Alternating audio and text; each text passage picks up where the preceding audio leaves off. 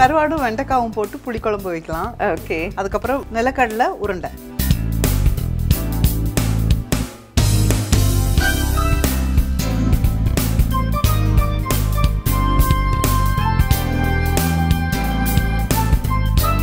ரொம்ப பிரமாதம்.